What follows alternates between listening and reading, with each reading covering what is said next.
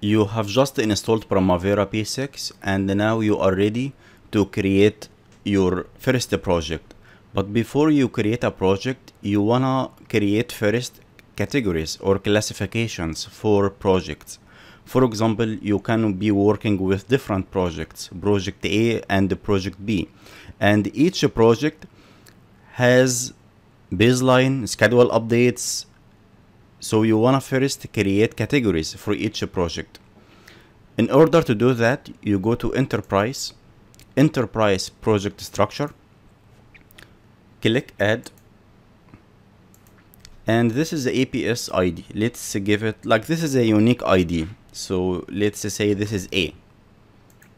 And the EPS name is Project A. I am working on. You can have another project.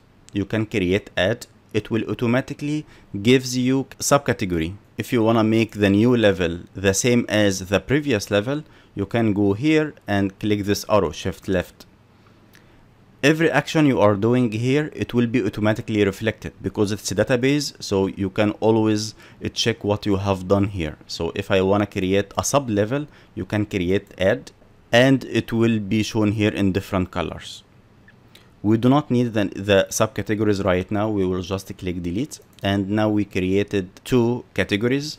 So this is maybe project B we are working on. So this is project B. And click close. And in in each category you can have multiple projects. So this is the high level. This is the category only. This is not a project. So for project A for example you can have multiple projects. The baseline project different schedule updates.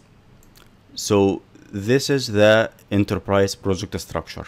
Another type of hierarchy in, in Primavera P6 is the organizational breakdown structure, which we will explain in the next video.